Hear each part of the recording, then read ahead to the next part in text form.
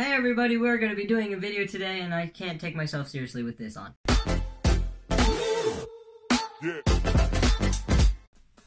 Yeah. today I'm going to be explaining, I guess, my specific process of how I got on board or like how I started the process of getting on that list for top surgery. Keep in mind it's going to be different for everybody. I'm in Canada, so like there will be differences in different countries and continents. There will be differences in like whether it's age, whatever doctors you get, all that kind of stuff. So, okay, I need to put a hat on. Here we go. Getting in the festive mood. Okay. Um I have a few smaller clips of like me along the way because there's been times where I had to switch doctors and surgeons and that kind of stuff and this will be explained. But anyways, first of all, I was very fortunate that I was able to find like a, a gender specialized doctor specifically at my university. I go to Carleton University. That step might be easier or harder to some people depending on like wait lists, but um, I was able to find a doctor pretty much right away. Uh, I found I was talking to their therapists that they had on campus, and they led me to my doctor. So I had two or three therapist sessions, maybe something like that. So my doctor wanted to see me three times at least before she prescribed me testosterone. We're not to go into depth on that, how I got that, but if you want to know, let me know down in the comments. I can make a separate video. Uh, and after I had gotten testosterone and all that stuff, uh, it was like a year later. Uh, I'm coming up on two years now. It's only now that my top surgery stuff is kind of like sorting itself out. My doctor asked me um, what kind of places I wanted to go to. So I'm in Canada, and I wanted to go to Toronto at first. With that one right away, uh, they wouldn't accept my insurance that I have.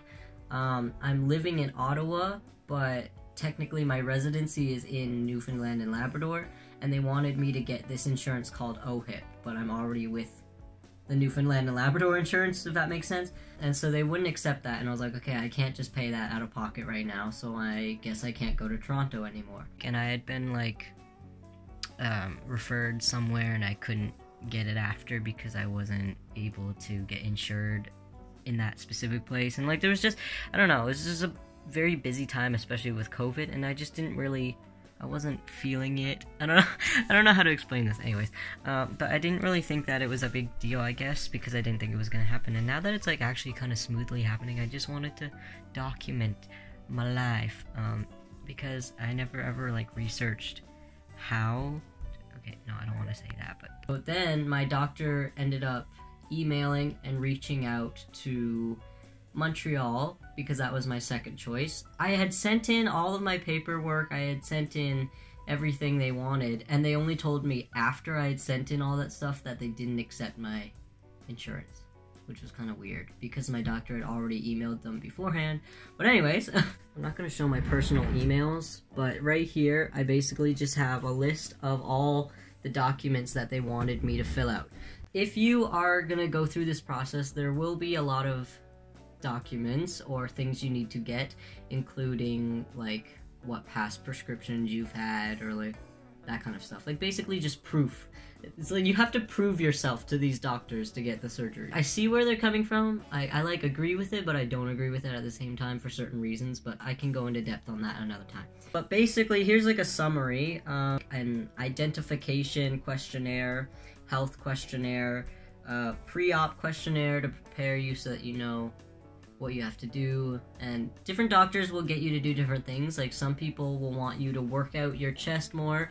My person like personally my doctor didn't tell me to do that but i'm going to do it anyway because i've heard other people say it helped. Um, some doctors get you to take a bunch of specific vitamins to help with i guess blood flow and like your skin elasticity elasticity elasticity oh my god i can't say it I'll just spell it. This word. then there's other documents, like other questionnaires that you have to fill in with your doctor. So your doctor has to fill out a bunch of things. Past things, like if you have uh, family genetic diseases or like difficulties, anything like that. All that kind of stuff. is where all these papers come into play. And it wasn't too too bad for me, but I did have some complications. Now I know some surgeons will do top surgeries without hormones because there's not everybody wants to go on hormones. Uh, but I don't know what the process is for that because I mean I didn't do that. So we sent all of that in. They approved it. Uh, and then yeah, so they told me, sorry, we don't take your insurance. So uh, I ended up having to switch to another surgeon yet again, someone out in Ottawa. So that's actually good. I won't have to travel anywhere, nothing like that. Um, and the papers for them, they took basically the same pa- papers that I had filled out for Montreal GRS. Sorry for the interruption. Okay, so uh, where was I? Yo, I was real upset. I was like, I was ready. I was like, oh my god, getting my surgery, sent in everything, hell yeah. And then just heard that. Too bad, we're not insuring you, so. So, um, I got a call from my doctor, and this is the second place that will not take my private insurance. So, that's another place that has turned me down, and I have to be referred somewhere else again. I'm kind of worried about because I might be doing it here where I am in Ottawa, um, but I've heard like some stories about there not being, I guess, I don't know, a lot of like surgeons that do that kind of thing here. I don't know if that's like accurate or not, but I'm, it just makes me nervous because like you know you get this plan, you get news or information, and you're expecting that that's what's gonna happen, and then it changes all of a sudden, and now mm, I'm just so yeah, that's what happened as soon as I found out about the Ottawa surgeon, um, he basically made an appointment with me to come into the hospital, and I was there for about two hours, and that includes like waiting times and all the COVID questionnaires and whatever they have to ask you in the beginning. Oh, I feel like I'm at the dentist, but it's more severe than that. he showed me a slideshow basically just of his procedures and all that stuff. Let me know if you want a video on the different types of top surgeries you can get and what they do. Which was also really comforting because if I had to be switched to three different surgeons and wasn't like my first choice, I was very reassured with his results and I actually am now really glad I'm going with this person. After that, I had to fill out some more paperwork, which is fine. Um, I'm 20 so I was doing all of this stuff by myself. Uh, I don't know what the rules are for people who are under 16 or under 18. This story is like specifically to how I did it. And I was about to leave. She told me it's about a four month wait. Who knows? I could have my top surgery in like three months. So that's crazy. Crazy! Okay. So, um, yeah. That's like the summary, the quick version of how I've gotten here like I said, there's different requirements. The original doctor I had from the university, um, she had that three visits at least rule kind of thing. Some doctors require you to go to therapy for a bit before uh, first. Like I said, some doctors will will require you to be on hormones for a year. Um, Actually, I think that's one of one of the doctors that I was supposed to go with. I think I was supposed to be on hormones for a year. Um, but like I said, I'm almost two years now, so that wasn't really a problem for me. I started this process, I want to say at least a year ago.